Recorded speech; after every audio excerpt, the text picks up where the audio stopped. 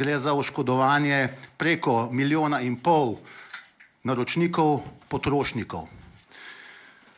In sicer v ocenjeni vrednosti za preko 250 milijonov evrov. S tem v zvezi je vse slovensko združenje malih deležnikov vložilo kolektivne odškodninske tožbe,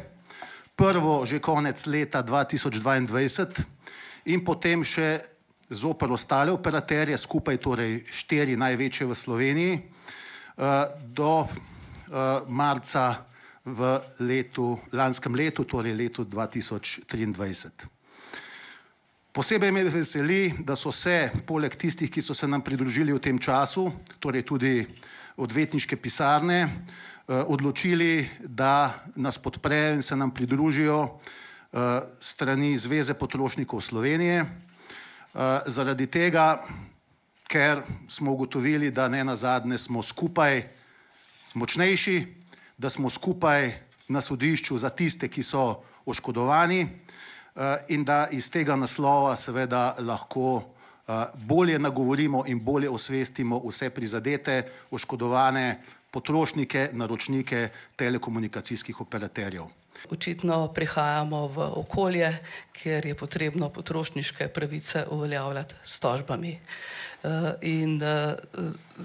prav z razmislekom, kako doseči uveljavitev pravic potrošnikov, kako vzpostaviti bolj pošten in pregleden trg, smo se odločili, da se priključimo Vseslovenskemu združenju malih deležnikov in verjamemo, da bo to dobro sodelovanje iz preprostega razloga, tako kot je gospod Verbič že povedal, da v tem interesu, v tem primeru zastopamo interese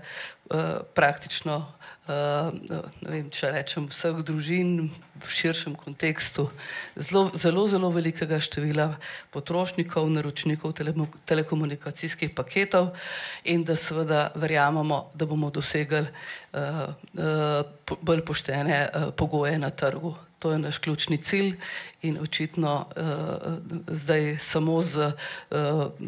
pogajanji očitno ne gre več, no, tako da podpiramo to akcijo, pozivamo potrošnike, da se v čim večjem številu odzovejo na to akcijo in da se ustrezno prijavijo v tem smislu, da bodo videli, da tu nismo sami, ampak da nas tu podpirajo. V preteklosti smo imeli dobro podporo in verjamemo, da jo bomo dosegli tudi tokrat. Mi smo že leta dva tisoč devetnajst sprožili akcijo Vezava za oba, šlo je pa za za kršitev operaterjev, ker smo ko smo jih pozvali, naj sporno prakso enostranskega dviga naročnin v času, ko je potrošnik vezan na določenega operaterja zaradi nakupa recimo mobilne naprave, prenehajo, ampak smo žal naleteli na njihova gluha ušesa, mi imamo neko tako politiko na Zvezi potrošnikov, da vedno poskušamo najprej zadeve rešiti sporazumno, po mirni poti, da je, da so vložene tožbe nekako zadnje orodje, ki ga imamo. Takrat nas je podprlo več kot devet tisoč potrošnikov. Pri teh vloženih kolektivnih tožbah smo prepoznali podobno pravno problematiko, in kot rečeno, smo se zato tudi z veseljem odzvali povabilu v ZMD. Zdaj pa ne samo na Zvezi potrošnikov, ampak tudi v Evropski potrošniški organizaciji Bevk prepoznavajo to problematiko kot zelo aktualno, tudi določene članice Bevka, na primer Velika Britanija, njihov regulator se je že izrekel, da gre za nezakonito, nepošteno poslovno prakso, konec koncev gre za neki nesorazmeren pogodbeni odnos, v katerem ima operater izrazito močnejšo moč v primerjavi s potrošnikom, ne samo z vidika ekonomske moči, ampak tudi z vidika tega, da sam pripravlja pogodbe in so določene določbe, ki so vsebovane v teh pogodbah, na škodo potrošnika. Na ZPS smo pripravili tudi precej dva obsežna članka, v enem podrobneje razlagamo vsebino te tožbe, drug članek je malo širše zastavljen, ni to edina problematika, s katero se srečujemo pri operaterjih, oboje objavljeno na naši spletni strani in bo tudi v naši tiskani reviji, ki bo izdana kmalu. In kot rečeno, tudi pozivamo vse potrošnike, da se pridružijo tej akciji, da se evidentirajo na spletni strani, um, to, to je kolektivno varstvo.si. Um, s tem bodo potrošniki podprli našo kampanjo, ampak tudi bodo prikazali s številčnostjo um, razsežnosti tega oškodovanja, kar bo pripomoglo tudi pri odobritvi tožbe uh, na sodišču. Morda najprej uh, širša slika. V Evropski uniji so kolektivne tožbe v porastu, ker se širi zavedanje, da korporacije mnogokrat izkoriščajo svoj vpliv in moč zoper potrošnike. Eh, glede konkretnih postopkov zoper telekomunikacijske operaterje je trenutna ocena, da so naši argumenti trdni in prepričljivi, kar je prepoznala tudi Zveza potrošnikov Slovenije in tako podprla sodne postopke, ki jih je sprožilo vse slovensko združenje malih deležnikov.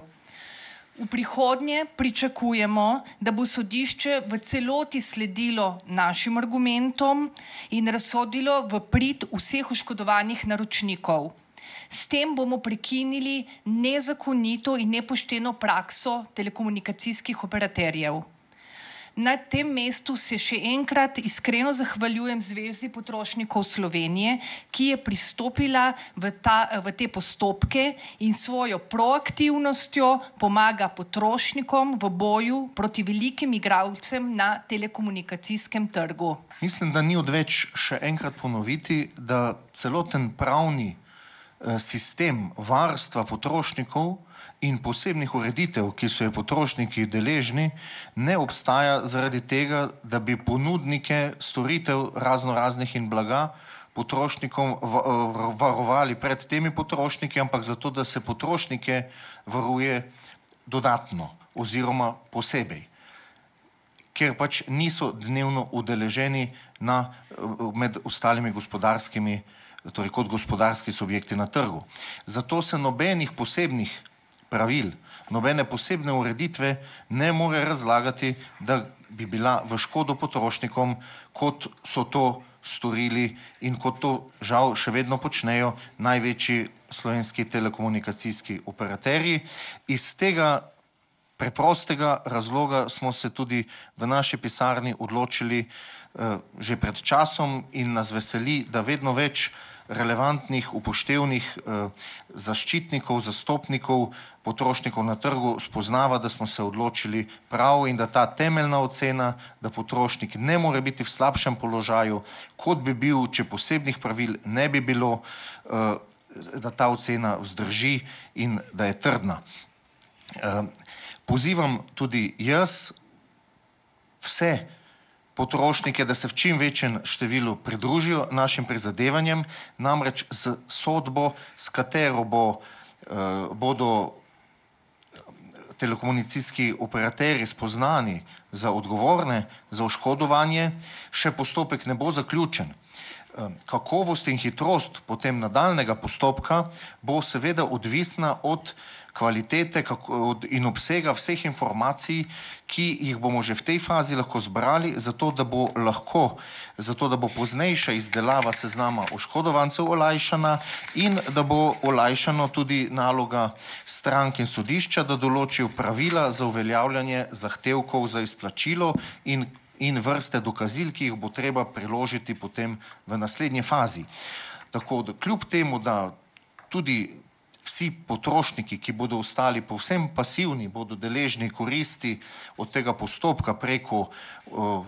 vsaj upamo in prepričani smo tako, prenehanja nepoštenih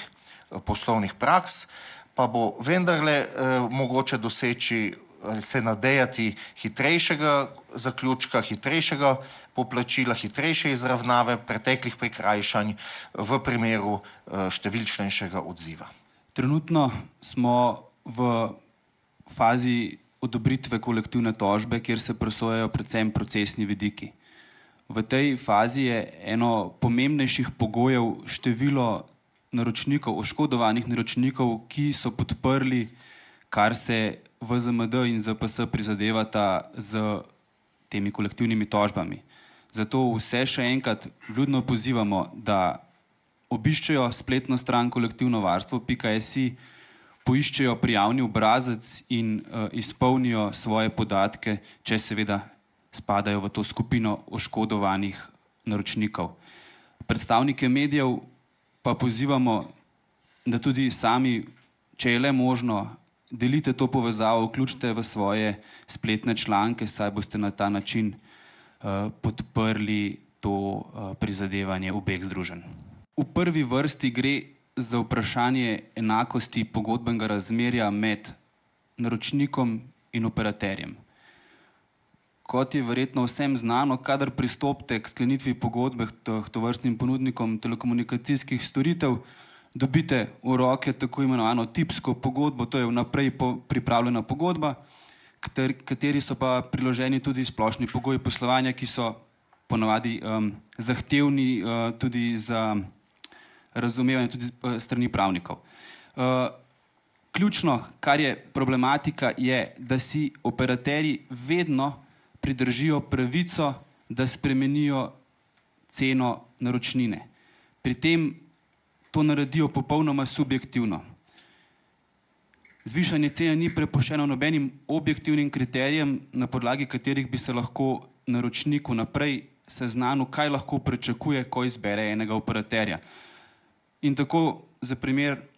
se lahko zelo hitro zgodi, da v, v danem trenutku izbereš najugodnejšega med operaterji in ta lahko že v naslednjem mesecu, dveh, treh, spremeni svojo ceno, jo poviša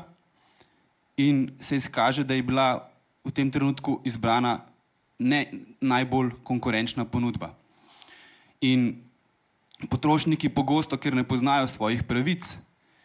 ne izkoristijo pravice, da zamenjajo operaterja, ampak preprosto sprejmejo višjo ceno, čeprav je ne bi rabili, ker je enostranska sprememba cene brez objektivnih pogojev nezakonita in je v nasprotju tako s slovensko potrošniško zakonodajo, kot tudi evropsko zakonodajo.